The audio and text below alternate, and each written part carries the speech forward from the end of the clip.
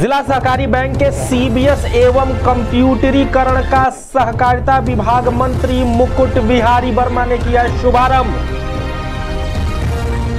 पीपीगढ़ थाना क्षेत्र में हुई महिला की हत्या का सीओ कैंपियरगंज ने किया खुलासा, कहा, अवैध संबंध बना हत्या का कारण।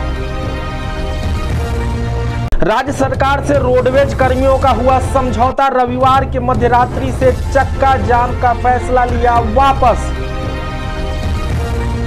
जनपद न्यायाधीश की अध्यक्षता में वीडियो कॉन्फ्रेंसिंग के उपयोग के संबंध में आयोजित हुई एक दिवसीय प्रशिक्षण कार्यक्रम। सभी न्यायिक अधिकारी रहे मौजूद।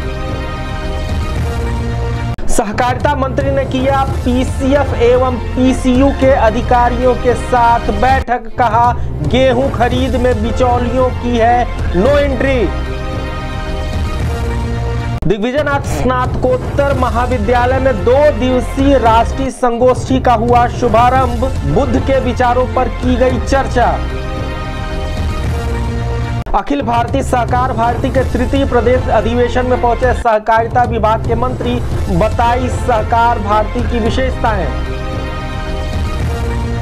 स्थानीय मैरिज हॉल में हुआ सवर्ण समाज का सम्मेलन। बुद्धिजीवियों ने रखे आरक्षण पर अपने अपने विचार। नागरिक सुरक्षा कोर के सदस्यों ने दिमागी बुखार नौ की बीमारी से बचाव के लिए चलाया जन जागरण अभियान, निकाली मोटरसाइकिल रैली। कड़ी सुरक्षा के बीच संपन्न हुई समीक्षा अधिकारी की परीक्षा। अभ्यर्थियों ने कहा प्रश्न पत्र रहा स्तरीय।